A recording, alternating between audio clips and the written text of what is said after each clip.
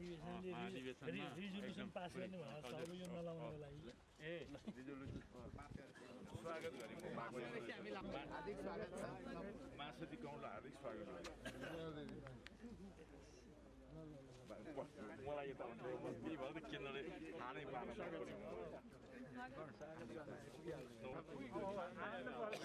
सरकारले स्पिड लिन्छ भन्ने आशा गर्नेहरूलाई चाहिँ अचम्म भएको हुनसक्छ। हामीलाई अचम्म लागेको छैन। किनभने यो जस्तो पृष्ठभूमिमा बन्यो जुन तरिकाले बन्यो जस्ता शक्तिहरू मिलेर बन्यो जे हुनु थियो त्यही भइरहेको छ। मुद्दे त कार्यान्वयन आधारभूत रूपमा भइसकेको छ।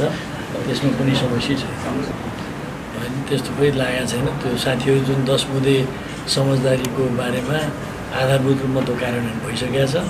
अब कहीँ त्यस्तो छन् भने स्थानीय तहको पार्टी नेतृत्वलाई पार्टी कमिटीले त्यसलाई व्यवस्थित केही तयारी छ त्यो हेर्नु गर्नको लागि गर्नुपर्ने अन्तिम कुराहरू के के छन् ती कुरा गर्नको लागि हामी